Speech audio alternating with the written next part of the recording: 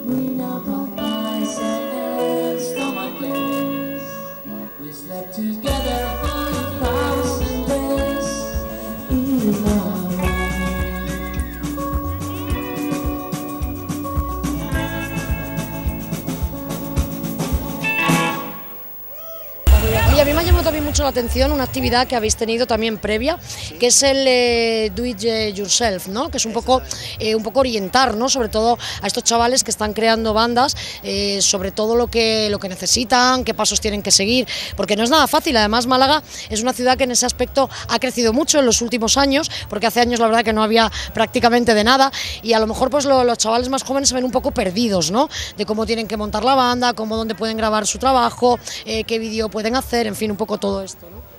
Pues exactamente, a ver, esta actividad ha surgido un poco eh, de cara a que bueno, llegaba el Canela, se acercaba la fecha y es cierto que bueno, la gente decía, bueno, qué, guay que viene el Canela, Málaga está en un momento bastante bueno, tenemos un montón de festivales, un montón de actividades culturales, por esto es gracias a la gente que lleva un montón de años trabajando como vosotros, entonces pusimos a pensar y dijimos, vale, si estamos en un momento tan bueno y es gracias a gente como nosotros y a otros muchos colectivos, ¿por qué no llamamos a esos colectivos y a esas empresas y hacemos una actividad cultural previa al Canela, aprovechando ese bulli bulli que hay de que la gente tiene ganas de, bueno, de ver cosas, de descubrir, de ir al festival, pues dijimos, vamos a montar estas charlas donde podamos un poco explicar eh, en el desarrollo, en la vida, la cronología de una banda, con qué empresa o colectivo tienen que lidiar, desde una sala de ensayo, como una sala de conciertos, un estudio de grabación, un realizador de vídeo, entonces como pues, una pequeña ponencia por cada uno de, los, de, esos, estadios, ¿no? Y la verdad es que fue muy bien, ha, tenido una acogida muy grande y ojalá podamos repetirlo en años posteriores. Claro que sí, seguro que ayuda muchísimo para por lo menos marcar un poco las pautas, ¿no? de, todas estas, de todos estos chavales. Sí, no, por supuesto eso, lo primordial es que realmente vengan y aprendan, pero también era un poco una manera también de agradecer a toda esta gente que lleva trabajando tanto tiempo, un poco que puedan mostrar su trabajo ante, ante los demás, en plan de que bueno, que este momento que tenemos no es de de repente es ahora 2014 Málaga está guay, no, hay detrás un montón de gente trabajando mucho tiempo, mucho, mucho, mucho tiempo. Oye, eh, ahora hoy hemos dicho, bueno, en plan familiar, la barrita también, ahí con la comidita, los precios populares, que eso también hay que, hay que comentarlo.